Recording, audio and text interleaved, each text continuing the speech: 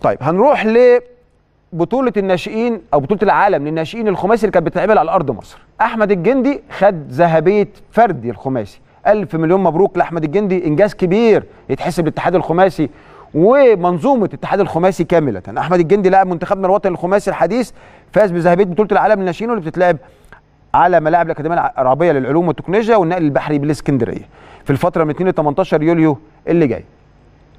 أحمد الجندي فاز بعد ما حقق مجموعة نقاط 1432 نقطة. جه وراه لاعب منتخب روسيا بفرق 12 نقطة بس ب 1420 وخليني أقول لكم إن إحنا فزنا كمان برونزية الفرق وده إنجاز كمان رائع.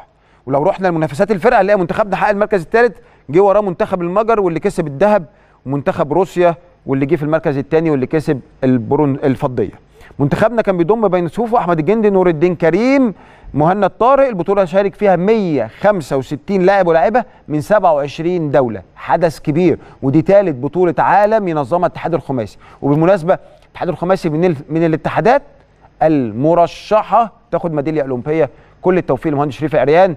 والاتحاد الخماسي كمنظومة إن شاء الله إنهم يحققوا لنا ميدالية أولمبية. يا رب قلبنا معاكم ودعواتنا كمان.